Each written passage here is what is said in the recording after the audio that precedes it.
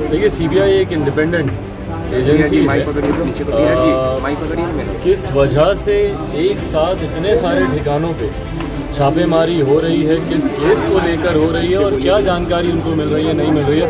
मुझे लगता है थोड़ा अभी और समय बीतने की ज़रूरत है। उसके बाद ही जानकारी स्पष्ट तौर पर सामने आएगी। राबड़ी आवास सहित लालू यादव के सत्रह आवास पर बाकायदा सीबीआई की रेड के बाद चिराग पासवान ने एक बड़ी बात कह दी है। और आप इस बयान से अंदाज़ा लगा सकते हैं कि चिराग पासवान ने पलटी मार दी है और यहाँ तक कह दिया कि सीबीआई एक जो है इंडिपेंडेंट एजेंसी है और अभी हम इस पर ज़्यादा कुछ नहीं कहेंगे।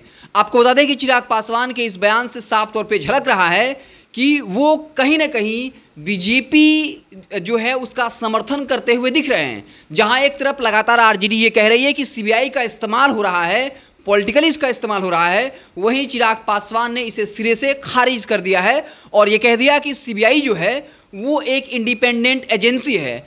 आप चिराग पासवान की पूरी बातों को सुनिए, फिर आपको इस बात का अंदेशा हो जाएगा कि कैसे चिराग पासवान सीबीआई के इस रेड को जो है, वो जायज़ ठहरा रहे हैं। आप देखिए पूरा वीडियो। चिराग जी आज लालू यादव के सत्रह ठिकानों पर सीबीआई की रेड हुई है। क्या कहिएगा इस पे? क्या संदेश जा रहा है? भाई देखिए ईमानदारी से बोलूँ अभी मुझे बहुत ज़्यादा जानकारी इस विषय की नहीं है कि क्या कारण है किस वजह से ये छापे पड़ रहे हैं नहीं पड़ रहे हैं। देखिए सीबीआई एक इंडिपेंडेंट एजेंसी है। अ, किस वजह से एक साथ इतने सारे ठिकानों पे छापेमारी हो रही है? किस केस को लेकर हो रही है? और क्या जानकारी उनको मिल रही है नहीं मिल रही है? मुझे लगता है थोड़ा अभी और समय बीतने की ज़रूरत है। उसके बाद ही जानकारी स्पष्ट तौर पे सामने पर ये कहा जा रहा है कि जातीय जनगणना को दबाने के लिए ये रेड की जा रही है बिहार में।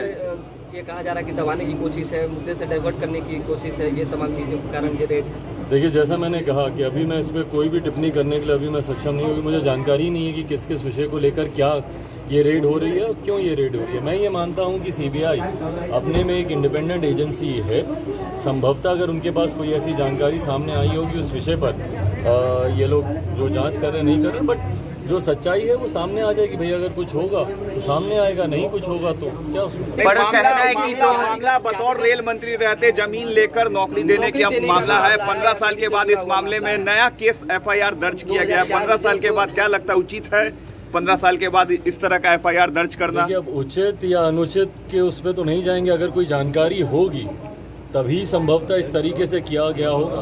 मैं बार बार मैं इस बात को मैं यही मैं कह रहा हूँ कि भाई ये जाँच का विषय है। एक बार ये जाँच होने दीजिए किस वजह से ये रेट्स हो रही है नहीं हो रही है जो सच्चाई है सामने। पर राजद का जनगणना को लेकर आप जो है पक्षधर रहे हैं। अभी फ़िलहाल वर्तमान में क्या कुछ चल रहा है अभी देख रहे हैं। क्या लगता है सीबीआई का छापा जो है मुख्यमंत्री को भी संकेत है? देखिए मुझे लगता है दोनों चीज़ों को जोड़कर नहीं देखा जाना चाहिए। अगर दोनों चीज़ों को जोड़कर अगर देखा जा रहा है तो कहीं ना कहीं ये कहने का प्रयास हो रहा है कि पॉलिटिकल कारणों से ये रेड हो रही है।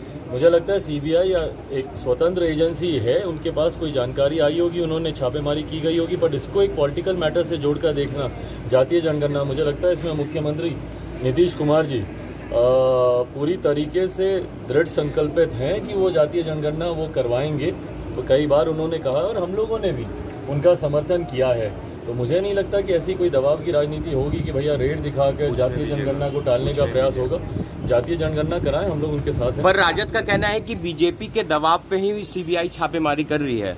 देखिए वो ज़रूर उन्होंने अपना पक्ष उन्होंने रखा होगा।